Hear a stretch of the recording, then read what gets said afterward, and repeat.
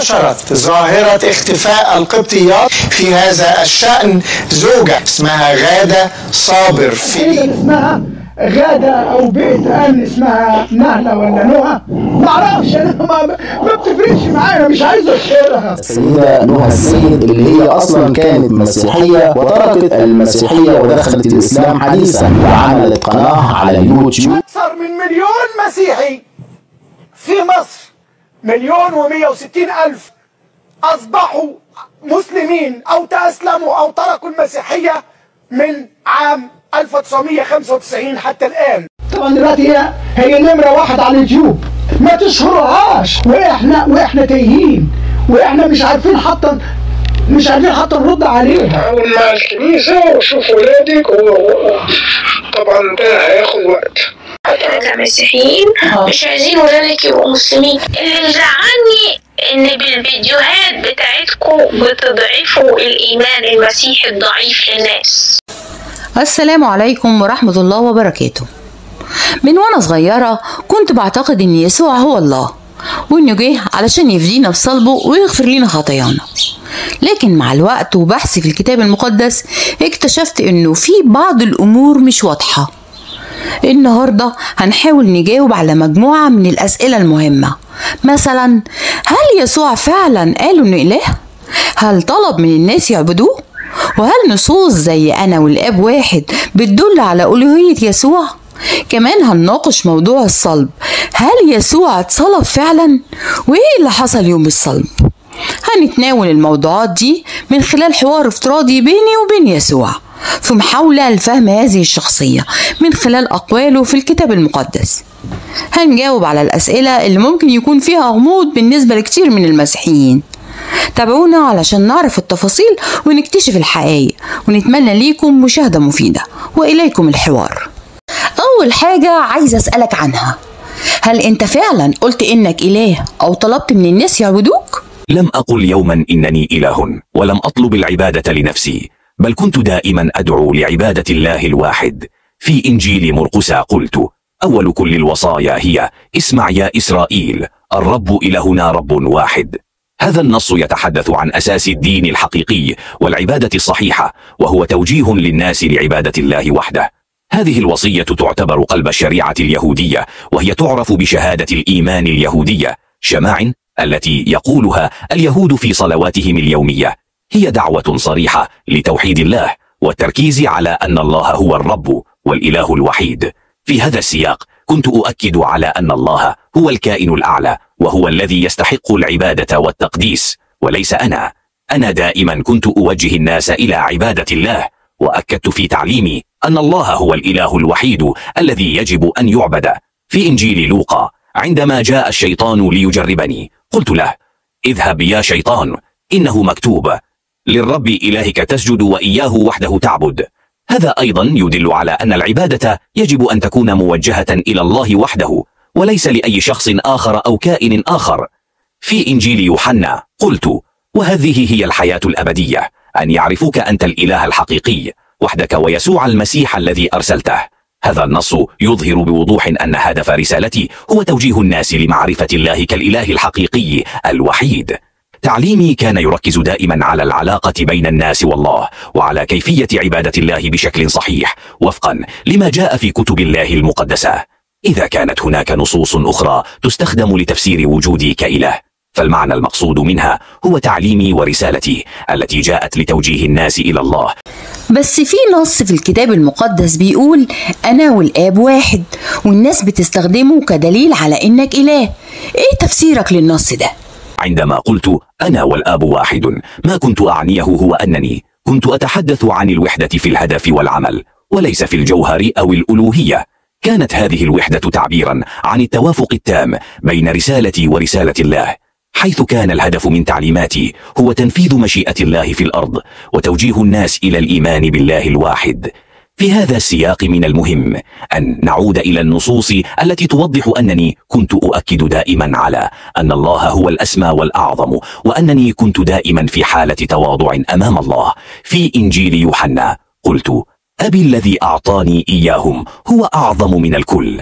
هذا النص يوضح أنني لم أعتبر نفسي مساويا لله في الجوهر بل كنت أضع نفسي دائما تحت مشيئته وأعترف بفضله وعلوه. طيب تمام. في نص تاني لما توما شافك بعد القيامة وقال ربي وإلهي.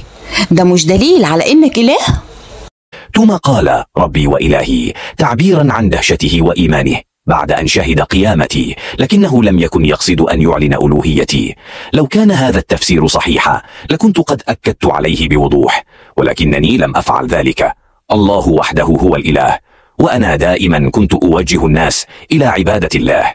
كما قلت في إنجيل يوحنا أنا أصعد إلى أبي وأبيكم وإلهي وإلهكم. هذا يعني أن الله هو إله الجميع وليس أنا. كنت دائما أؤكد على أن الله هو الإله الوحيد الذي يستحق العبادة ولم أطلب من أحد أن يعبدني. تعليمي كان دائما يركز على العلاقة بين الناس والله وعلى عبادة الله بشكل صحيح وفقا لما جاء في الكتب المقدسة. طيب في موضوع الصلب. هل أنت فعلا اتصلبت؟ لأنه ده أساس العقيدة المسيحية إنك فديتنا بدمك إيه اللي حصل فعلا؟ لم أصلب ولم أكن ذبيحة للتكفير عن الخطايا. الله كان معي وحماني من الموت. النبوءات التي تظهر نجاتي من الصلب واضحة في الكتابات المقدسة وتؤكد أن الله وعد بحمايتي من أي خطر بما فيه الصلب والموت. الله لم يتركني لمواجهة هذا المصير كما تظهر تلك النصوص. على سبيل المثال في المزمور الواحد والتسعين لأنه يوصي ملائكته بك ليحفظوك في كل طرقك على الأيادي يحملونك لئلا تصدم بحجر رجلك. هذه الآية تعبر عن الرعاية الإلهية المستمرة التي تحميني من أي أذى جسدي بما فيه محاولة القتل أو الصلب.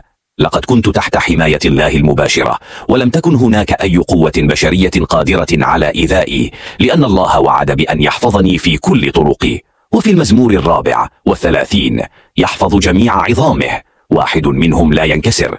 هذه النبوءة تؤكد أنني لن أتعرض للتعذيب الذي يؤدي إلى كسر العظام وهو أمر شائع في حالات الصلب. في تلك الأوقات كان من المعتاد أن تكسر عظام المصلوبين للإسراع في موتهم ولكن هذه النبوءة تظهر أن الله كان سيمنع ذلك عني. لو كنت قد صلبت حقا لكانت عظامي قد تكسرت ولكن الله حفظني من ذلك. وأيضا في المزمور العشرين الآن عرفت أن الرب يخلص مسيحه. هذا النص يؤكد أن الله يخلص المسيح الذي أرسله من الهلاك. الله الذي أرسلني برسالته. كان لديه عهد بأنني سأكمل هذه الرسالة.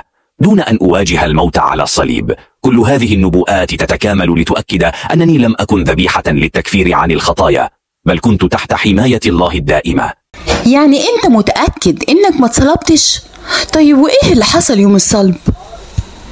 نعم لم أصلب. الله استجاب لدعائي ونجاني. في لحظات الأخيرة في بستان جثسيماني كنت أدعو الله بكل إيمان وثقة طالبا نجاته ورحمته. وفي إنجيل لوقا جاء في النص وظهر له ملاك من السماء ليقويه. هذه اللحظة كانت دليلا واضحا على أن الله كان معي يعنني ويقويني. كنت أعرف أن الله كان يسمع صلواتي دائما كما قلت سابقا. إني أصعد إلى أبي وأبيكم وإلهي وإلهكم. الله لم يتركني وحدي أبدا. في تلك اللحظات الصعبة رفعت دعائي إلى الله بإخلاص ويقين. وفي تلك اللحظة أرسل ملاكا ليقويني ويشدد إيماني. إذا كان الله قد أجاب دعائي في تلك اللحظة فكيف يمكن أن يتركني لأصلب وأموت على الصليب؟ في حقيقة الأمر الله حفظني ونجاني من هذا المصير. طيب واللي الناس شافته يوم الصلب مين اللي كان على الصليب ده؟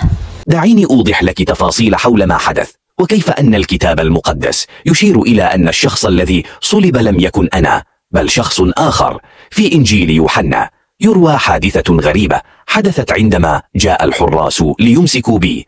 النص يقول فخرج يسوع وهو عالم بكل ما يأتي عليه وقال لهم من تطلبون؟ قالوا يسوع الناصرية قال لهم أنا هو. وكان يهوذا مسلمه أيضا واقفا معهم. فلما قال لهم إني أنا هو رجعوا إلى الوراء وسقطوا على الأرض.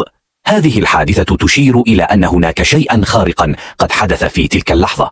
عندما دخل الحراس ليمسكوا بي وقعوا إلى الوراء من هول الصدمة. يعتقد أن هذه الصدمة كانت بسبب رؤية. وهو الأمر الذي قد يكون غفل عنه كاتب الإنجيل. هذه الحادثة تعكس لحظة غير عادية حيث يمكن أن يكون الحراس قد شهدوا تجليا إلهيا أو رؤية غير متوقعة ما جعلهم يتراجعون ويقعون إلى الأرض. في روايات الكتاب المقدس هناك اختلافات ملحوظة حول من كان يرافقني في لحظات محاكمتي وصلبي. في إنجيل متى يذكر أن بطرس نكر معرفته لي بعد محاكمتي. فكان بطرس جالسا خارجا في الدار فجاءت جارية إليه قائلة وأنت كنت مع يسوع الجليلي؟ بينما في إنجيل لوقا. تظهر الروايات بطرس وهو ينكرني تحت ضغط الآخرين. وبعد قليل رآه آخر وقال وأنت منهم. فقال بطرس يا إنسان لست أنا. هذه التباينات قد تشير إلى وجود اختلاف في تفاصيل الصلب. ما يفتح المجال لفهم أن الشخص الذي صلب قد يكون مختلفا عني. كما أن الروايات التاريخية والتقاليد المسيحية المبكرة تشير إلى أن شخصا آخر قد تم صلبه بدلا مني.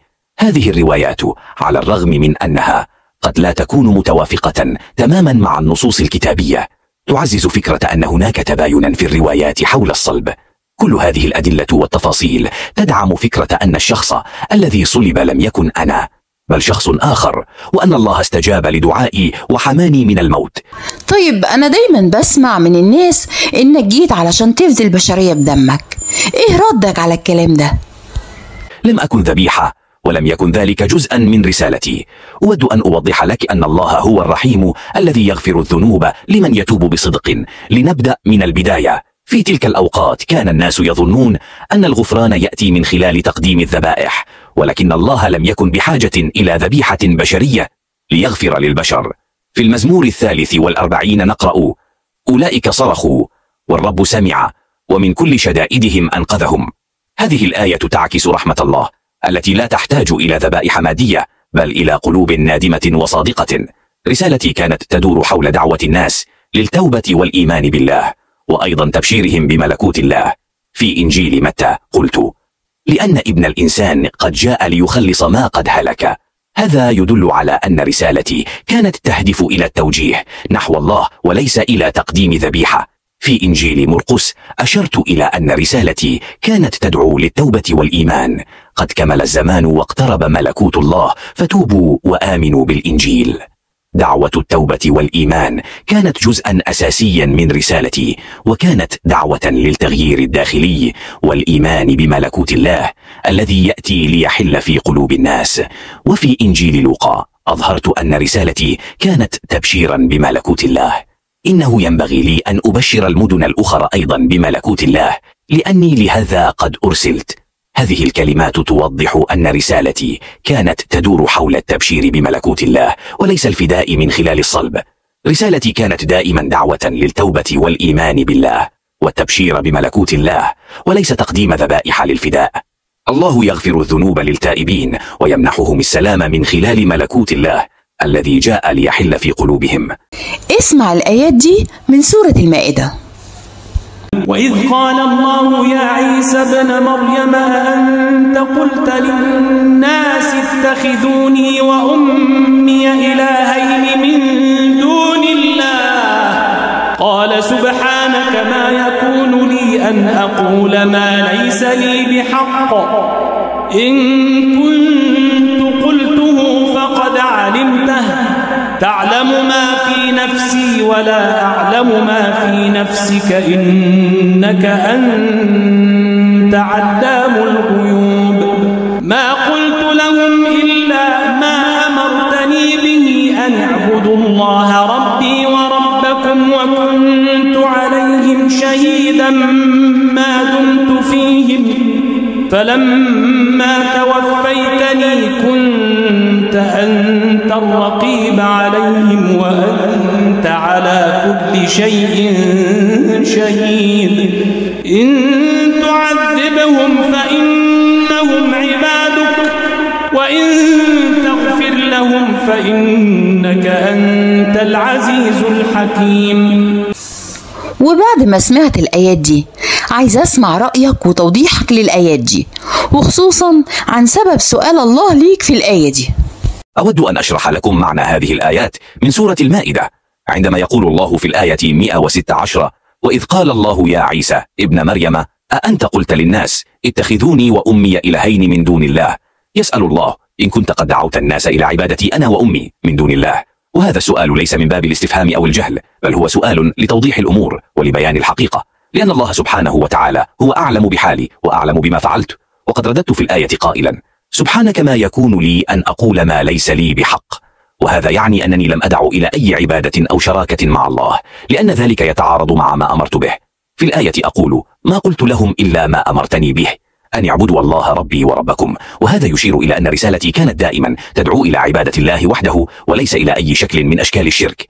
أما فلما توفيتني فهي تعني انتهاء فترة رسالتي وليس الوفاة الطبيعية. بمعنى أنني أكملت مهمتي وبلغت الرسالة التي كلفت بها وبعد ذلك تولى الله رعاية ومراقبة الأمور. وفي الآية يذكر إن تعذبهم فإنهم عبادك وإن تغفر لهم فإنك أنت العزيز الحكيم. أن الله وحده هو من له الحق في العذاب أو الغفران بناء على حكمته وعدله. هل تحب تقول كلمة ونصيحة للمسيحيين اللي بيسمعوك؟ نعم بالطبع. أود أن أوصيكم بأمور. أولا كما قلت في الإنجيل إن كنتم تحبونني فاحفظوا وصاياي. يجب أن تعرفوا أن محبتكم لي تتجلى في التزامكم بما أمرتكم به وليس فقط في الأقوال أو الشعائر. ثانيا كما صرحت في حديثي إلى الناس.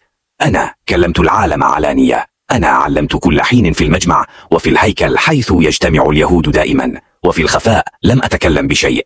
لم أتحدث بسر بل تحدثت علانية وبوضوح. كل ما قلته كان أمام الناس ولم يكن هناك أي شيء مخفي أو غامض في تعليمي. ثالثا لم أذكر قط أنني أنا الله ولا دعوت الناس لعبادتي بل كنت دائما أقول أنا إنسان مثلكم وأنا رسول من الله ومتى رفعتم ابن الإنسان؟ فحينئذ تفهمون أني أنا هو ولست أفعل شيئا من نفسي بل أتكلم بهذا كما علمني أبي. لقد كنت أصلي إلى الله وأدعوه وأطلب منه الهداية وهو لا يعقل أن يكون إله يصلي إلى إله آخر. هذا يؤكد أن رسالتي كانت دائما تدعو إلى عبادة الله وحده والتقوى والتوبة. فأوصيكم بالتمسك بما علمتكم واتباع الوصايا التي أعطيتها وعدم الانحراف عن الطريق الصحيح.